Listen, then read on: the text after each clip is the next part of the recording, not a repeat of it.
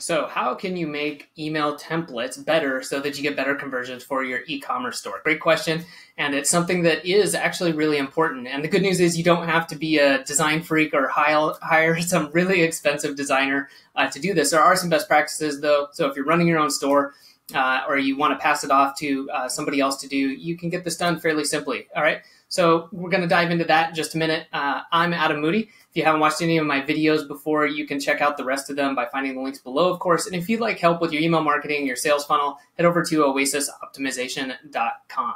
Okay, so let's get into it with designing these email templates. All right. One of the best things you can do is just consider, you know, yourself as the customer. You've gotten emails before. What makes sense to you, right? It should look professional but match the brand. And by that, uh, there's a few things we can cover here.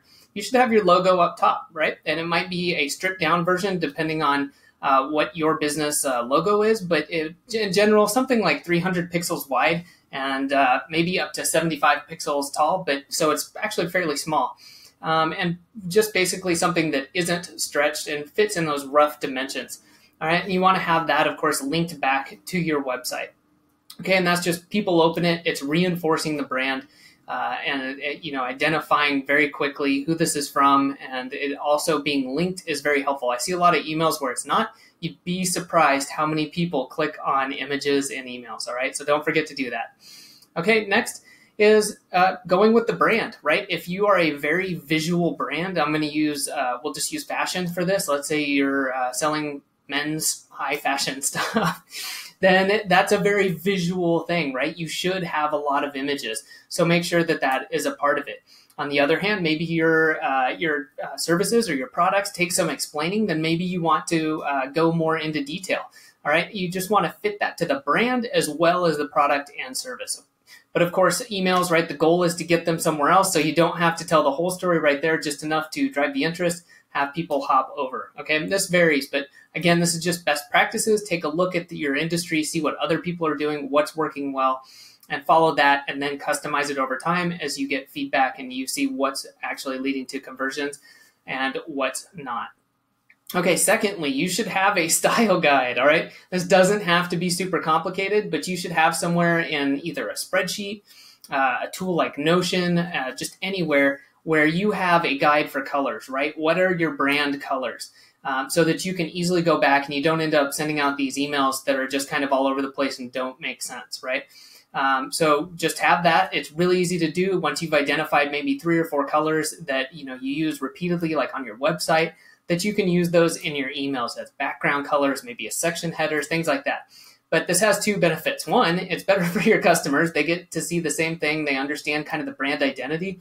Uh, but then two, you're saving yourself time so that you're not wondering like, oh man, which color did I use? I need to go back to the old template or I need to go back and find an old email. Knock that out. Save yourself a bunch of time. Just do this. All right. Secondly, uh, make use of white space. I find this one's really important. Uh, I, you go into some emails and you're just like blown out with like stuff and it's very rare that that works. Uh, you know, I would say keep it color to a minimum. That's kind of your call to action, right? Is by having maybe a button, having these really colorful or bright uh, images that really draw the eye. But don't just have you know text and maybe a sidebar with lots of text and then images in the middle. Uh, be really careful. You know, give it some space. People um, certainly can take the time to scroll through this and, and will if the the content is good.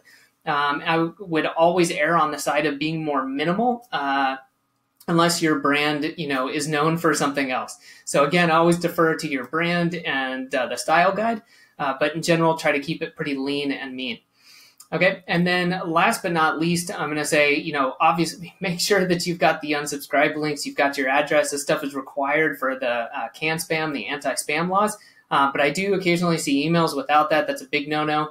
Um, also, as a customer, I don't want to see that. You know, I love getting emails and uh, great emails, especially. Uh, but if the time comes and I'm no longer interested, I definitely want to be able to click that button. And uh, last but not least, I would say uh, understand your brand voice. But if you're not sure, err on the side of uh, being professional. And uh, by that, I just mean probably don't want to go out in left field if you're not known for making uh, political comments. You know, don't suddenly enter or inject that into your emails. Uh, keep it about your customers, keep it about your subscribers. Uh, make these adjustments as you needed, where you're putting in uh, your logo at the top, you're making sure you're linking it back, you're using images where appropriate, and you're keeping it as minimal as you can. And I guarantee you, uh, you will get a lot better results from your email marketing. Now, that is just one part of it. That's email templates that can really help, especially in e commerce. Uh, if you'd like help with this or other email marketing activities, you can always get in touch with me at oasisoptimization.com.